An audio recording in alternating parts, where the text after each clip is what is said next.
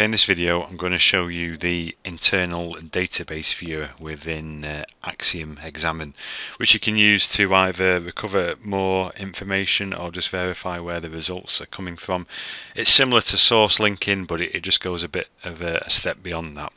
If I uh, bring up a case and I'm going to go to my uh, chat so for example the chat messages here uh, generally all come out of a, uh, database file. And what I can do is using the source linking I can uh, click on the chat messages and find out that uh, this chat message for example has come from the uh, main.db file located at this location.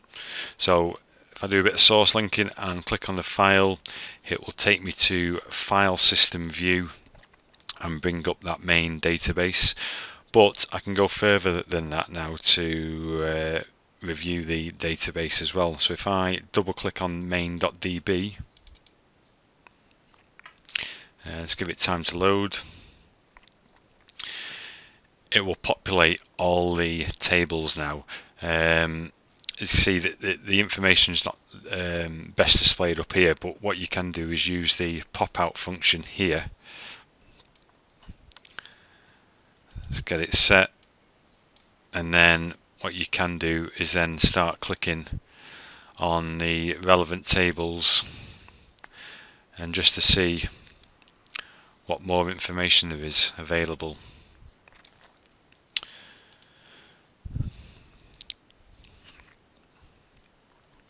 And pop that back in.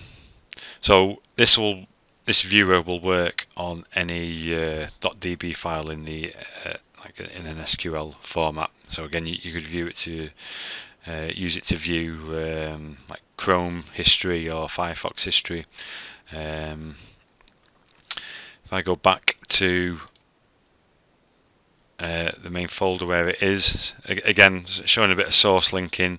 If I click on that DB file, right click and then go view related artifacts, again it will show me all the artifacts that are recovered from that DB file. Uh, again, just another way on how you can verify and, and do a bit of source uh, linking on where the results have come from without using uh, another tool.